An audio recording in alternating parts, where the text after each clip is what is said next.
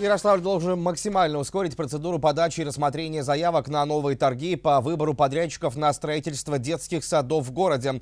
К этому руководство мэрии призвал глава регионального правительства Александр Князьков. Как выяснилось, в областном центре состоялись только три из шести запланированных аукциона. Выбрать новых подрядчиков намерены к концу апреля и ориентировочно в мае они смогут выйти на объекты.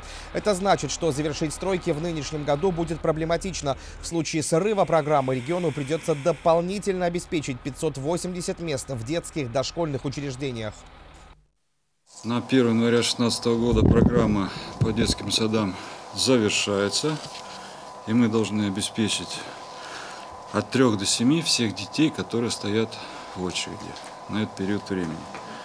Значит, у нас перечень объектов, мы вот в прошлый раз, правда, без города обсуждали, э, которые включены в соглашение с Министерством образования это 13, так? Ничего не изменилось, то есть 13. Она дает у нас 2400 э, мест.